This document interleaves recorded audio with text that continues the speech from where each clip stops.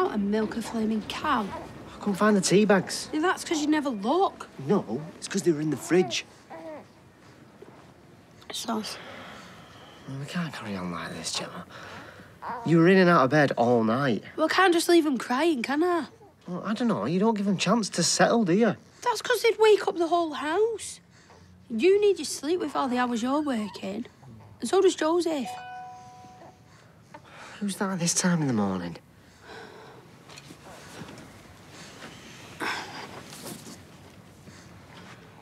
Oh, it's one of the mums from Baby Group. Baby choir's on today at the community centre. Great, that's all I need. I've been listening to one all night. That'd be good for him. Yeah. I can hardly see a bunch of four-month-olds belting out I dreamed a flaming dream. You sing to them. I know. Maybe it's not such a good idea. I've heard you sing before. I, I have got a good voice. Our music teacher used to say that I could hit notes that he didn't even know existed. Just don't know if it's worth dragging him all the way there just to drag him back. It's not like Aled's going to appreciate it, is it? All right, so now we're excluding him from stuff, are we? I never said that, did I? All right, keep your wig on, I'm coming. Uh, this is all my own, I'll have you know. Right, come on then. Get the kettle on. Hey, I bet that bathroom's like a new pin. Did my best. Of course you did, my sweet. Ta-da! What's all this in aid of? Life. Our life. Mm. Together. Sometimes you have to celebrate the here and now because you never know what tomorrow's going to bring. No. Hey, wash your hands first. You've just had your arm jammed up a U-bend. Oh, yes. You are singing Happy Birthday twice over in your head like I told you, aren't you? Yes, of course, I always do. Good. Thanks for breakfast. My pleasure. Now, get it down your neck while it's hot. Take the weight off. You must be shattered after last night. Last night? There's merchant sailors in a force 10 done less tossing than you, thanks to your granddaughter. No. I, I was just thinking about what you said about moving to Cyprus. Thinking as in considering? I'm just trying to imagine it. Listen, I've got enough imagination for both of us. And just the man to help me paint the picture, the ump himself. May I have this dance, please? What about breakfast? Oh, twice around the microwave, it'll be right as ninepence. Come on. All right. Oh, dear. Oh, life could be one long dance. We could skip this miserable old country and start over in the sun. Villa with a pool, stone's throw from the beach, an orangery with actual oranges in it. That would be something. It would. And you can throw open the curtains in the morning and look at the med, not that god-awful cladding across the road. It's what you deserve. Well, I, I, I don't know about that. Hey, I've told you a million times, don't put yourself down. This country is no place for old folk in the winter. You wouldn't need a drink to keep out the cold, that's for sure. It's just the thought of uprooting and leaving everyone. Omelettes and eggshells, my darling. Omelettes and eggshells. I fell in love with you. The last war should last forever. It's all It'll be great, this. Living here permanently. Feels like me and you's going to the next level. Eh? Well, unless you're having second thoughts. No. No, it makes sense for you to move in. I've just got a lot on my mind. Well, I should try not to think about it. How can I not? Every time I see them together, the signs are there. My gran can't even open her mouth without looking to him first. Maybe you're just seeing what you want to see. As if I'd want to see that. Ryan, he locked her in a box. He's stealing her money. Sorry, I didn't. That's a daft thing to say. No, I'm sorry. I just. I'm angry at myself, not you. I went too far yesterday. No, hey, look. You had a right to say how you felt. The only person that can do anything about it is Yasmeen. Yeah, but what if she doesn't? I'll never forgive myself if anything happens to her. But how would we manage? What, you don't think I've done my sums? I'm not suggesting that. I wish you'd trust me a bit more. I do trust you. I just can't see how we'd live. Property is as cheap as chips in Cyprus. We sell up here, we'll be quids in. We could even afford a housekeeper so you could put your feet up. You really think so? We'll have a longer life and a better life out there. Does sound tempting. Then give in. There's nothing keeping us here. Alya. I know. Me and her don't always see eye to eye, but maybe distance will lend a bit of enchantment. Eh, We could get a place with a guest bedroom, and she'll never have to pay for holiday accommodation ever again. She'll thank us. Come on, please, Yasmeen, please say yes. All right. That's my girl. Oh. Right, I'm gonna crack straight on with my research while you get this kitchen cleaned up. Oh, you should have got me up. You was well gone. Oh, it was only that banging of the door that woke me. Oh, Nan took the dog out. Really? He's not very well. Hmm. He looked half dead, to be honest with you. She's hoping a bit of fresh air is going to sort him out, but I said she's going to have to take him to the vet. Well, that won't come cheap. What else has she got to spend the money on? I mean, if anything happens to that dog, she'd be heartbroken. No, I was when Monica died. What did you do with the body? Have Well, she was cremated. Have you still got the ashes? No, I scattered him on the red wreck. Oh, you and every other dog walk around here. Honestly, you can't walk 10 yards on there without stepping in an Alsatian or a Golden Retriever. Fierce? Sorry. It's true. And when it rains, it's like porridge. It's those lads playing football I pity. Every time they fall over, they must get a mouthful of Jack Russell. That's what Monica would have wanted. Well, I doubt she would have given it that much thought, eh? Can we get Cerberus stuffed if he dies? You see? No whist, no bingo, no carpet bowls. I might just sign up for Zumba. Care to join me? I doubt that'll be my thing. Oh, darling, I think you'd look really sweet in a headband and lycra. See, the Electric Society are doing a series of talks on 20th century fiction. Do you think they might do something on Jackie Collins? I wouldn't have thought so, no. Pity. She's enlivened many a dull winter's evening for me. I've got a meeting tonight. I might pop in. Oh. Well, I'll probably be uh, washing my hair or revisiting the stud. Hi. Ah, I'm Felicity.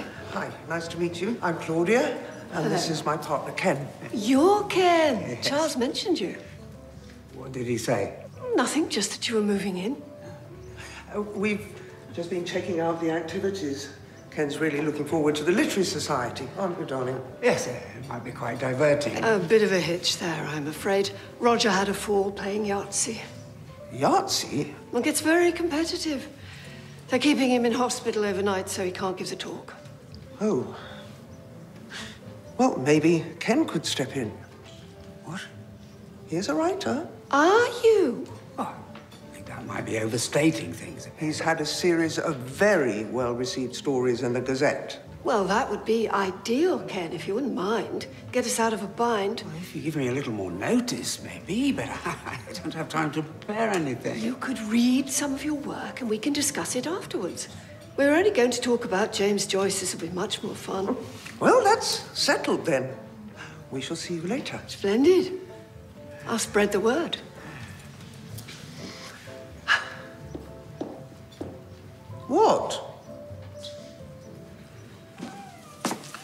Do. Do you really want me to answer that? Just trying to be civil. Try being civil to my gran. She's no complaints. I know what you've been up to. Up to? I've been going through the books. Someone's been making unauthorized withdrawals. And you're accusing me. Well, you're the only other person with access to that money. The only money I've taken out of that account's been for the new menus. There's over a thousand pounds missing, and you didn't spend that on those menus. Printers aren't cheap. Well, those ones were. The paper was practically see-through, and they were riddled with spelling mistakes. Oh yeah, and the uh, petty cash is like too. Oh, don't look at me. Maybe your boyfriend's treated himself. I don't know. How dare you? Look, I haven't got time for a slanging match. I've not taken any money on the line, even if you were right, which you're not, you won't have much longer to worry about it. What's that supposed to mean? You work it out. I'll get my lunch at Roy's. Thanks, mate. Tiana loved the fruit pancake. Didn't you? Yeah, I owe you one. You could buy us a beer sometime. You're on. Got me empty. Yeah, I live for them. She's Beautiful. How's your brother getting on? Uh, well, he's had better weeks, but, you know, he's made of strong stuff. I hope so. But tell him if he ever needs to talk about anything. And Will do. Um, and, again, sorry about my dad the other day. forget it. It's a stressful time for you all. See you. See ya. I've been thinking about our holidays. Holidays. You're lucky to make real with the money I'm on. We need to rent out that third bedroom before we go anywhere. Well, not necessarily. Mum called and she wants to meet you. She wants to meet me. Why? Well, I talk about you a lot. Anyway, she's offered to pay for flights to Australia at Christmas. Oh. oh, is that all you've got to say? Well, well, I mean, she, she offered to pay for you a while back, but you said no. Yeah, because I wanted to spend my first Christmas with my dad. Yeah, but if Australia was all that, then you wouldn't have moved back here when your mum emigrated. Oh, So you're going to write off an entire continent based on my say-so? Can we speak about this later? Look, I, I, I need to impress Ed on this job, and I, I don't want to be late back from dinner, yeah? I'll see you later. Thanks for lunch. And the money.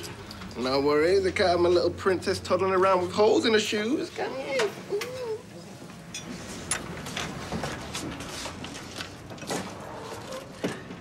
She enjoyed seeing you.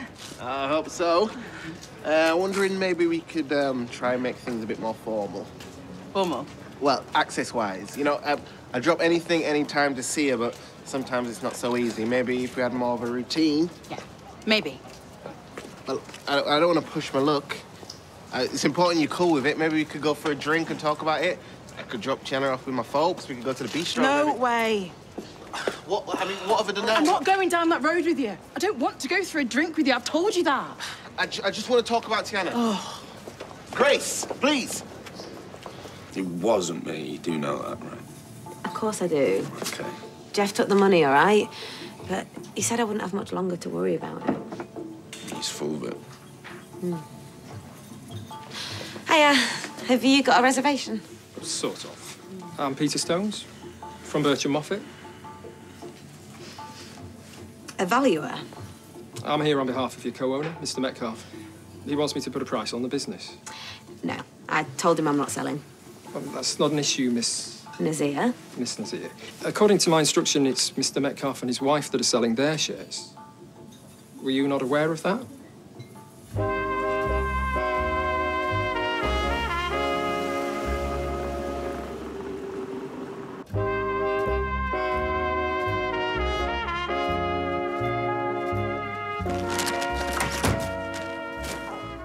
We're boycotting Freshco. Ah, that explains why there's no scran in the house. Well, I'm going to go to the shop after I've been to baby choir. The corner shop? No wonder you're skint. It's the only place I know where you can get a tin of beans and pay for it over five years. We don't need your charity. I don't even know what you're doing here. I thought you moved away. You can't get chips and gravy in Bristol. And I couldn't crash at our Sheila's anymore. I thought she only had a bed sit. And seven cats, two nights on her sofa. I was coughing up fur balls. So I up sticks again, rented a room in Manchester. So what are you doing here? You called me. Remember? I just was at a loose end, wanted to chat. I didn't ask you to come round. You didn't have to. I've known you since the minute you first opened your eyes. I know when something's wrong. Everything is fine. I'm glad you stopped by. I was troubled by what you said yesterday. That was the intention. Is he in? Geoff?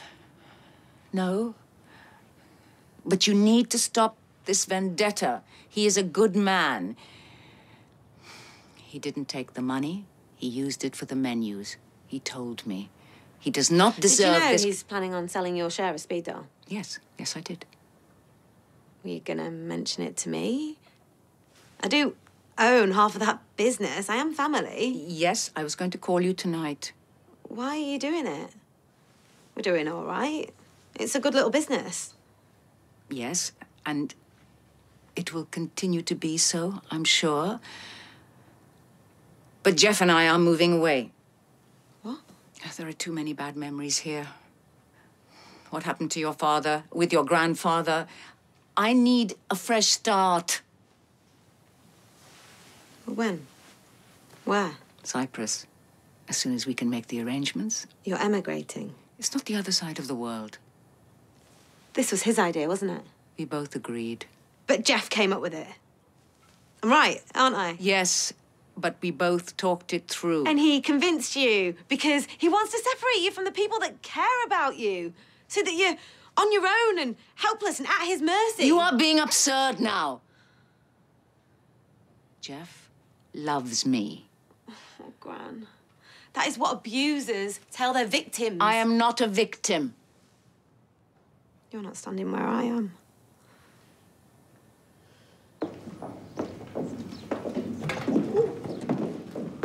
Are you sort of worn a sports jacket and chinos? No, I don't want anything too formal. I don't want this to feel didactic. Well, I've no idea what that means, but I still don't understand how you benefit from looking like a latter-day Val Doonican. Rather a lot of chairs. There should be a rocking chair on stage looking at you. Thought you weren't interested. I wasn't until you were topping the bill. There should be a bumper turnout. I've given it the hard sell. We don't have many real live authors pass through. Francis, meet Claudia Hello. and our very own writer in residence, Ken. Pleased to meet you. Hi. I'm very much looking forward to your talk. I once heard Lionel Shriver give a reading in Hong Kong. Any good, was he? Uh, she. So, what were you doing in Hong Kong? Francis was ambassador. How many times? I only ever made consul. Uh, so you never got to hand out the posh chocks at your receptions? No. No, I didn't, I'm afraid. Where were you based? Guangzhou. My Cantonese was always better than my Mandarin. Well, go on then, give us a blast. No, nanam sikle. Tanhai gotak lehofana. And what does that mean? Charmed to make your acquaintance, or thereabouts. Likewise. So, what do you write about? Well, mainly, I... No, no spoilers. We shall find out in good time. We'll start in 20 minutes. Fine. Very pleased to meet you, Francis. You too. I look forward to your talk. Seila Moyong Chu. My pleasure.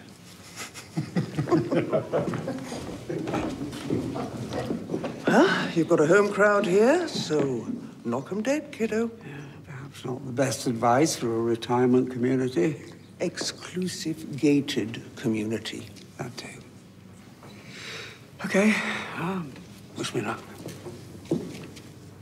Just channel your inner Jackie Collins.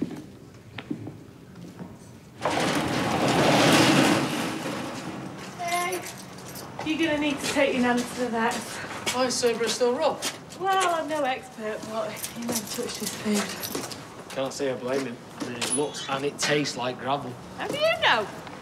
Oh, well, you know the other night when me and Kev had a few beers? Yeah. Well, when you went to bed, things got a bit weird. I mean, it seemed funny I did at the time, but... I was none bearing up anyway. Not great, you know. I think she's gonna need your support, Ty. I've said to Hope not to mention having him stuffed, like. Well, probably best. Yeah. Three guesses to where you're headed. Yeah, yeah, I was going to meet my uh, my mum and Kev for a quick drink. Oh, great. I'll just nip home, get changed and see you in there. Well, there's no need, I'll be back in a bit. It's all right. It won't take long. And we can talk about Australia. But I thought we weren't going. Oh, we said we'd discuss it. My mum will be really upset if I blow her out again. We can at least look into it. All right, fine. Right, well, you go up and get the laptop set up and that, and uh, I'll be home in a bit, yeah? What time? I can't say exactly.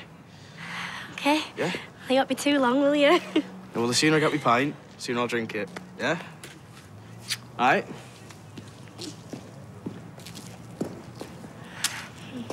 This was success by any measure, and certainly his own. But the sound of polite dinner party chat was drowned by the rasp of his grandmother's washboard and the laundry house chatter, by the scream of the factory hooter and the clack of a thousand hobnail boots on cobbles. Because, for all his fevered striving, His lifelong odyssey had taken him precisely nowhere. But he had learned one thing. Place is not a question of latitude or longitude. It is a state of mind.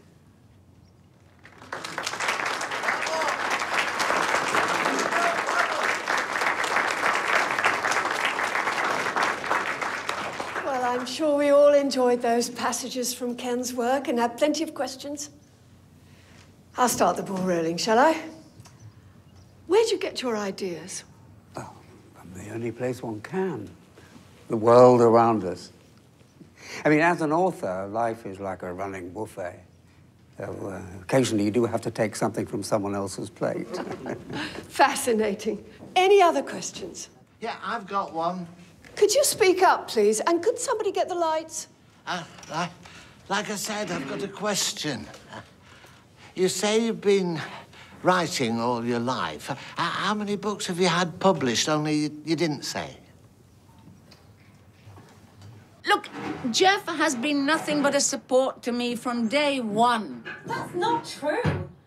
I don't recognize you anymore. He's ground you down, and I'm refusing to let that happen for a minute longer. What are you doing? If he takes you abroad with no one to protect you. I do not need protecting. Oh, I think you do. And do you know what? Once you're away from him, you'll see that. Stop. Please stop. Stop. Alya, stop. No, Stop Gran. it. Look, you'll thank me for this one day. No. What's this? Off to Cyprus without me? Coronation Street continues in half an hour.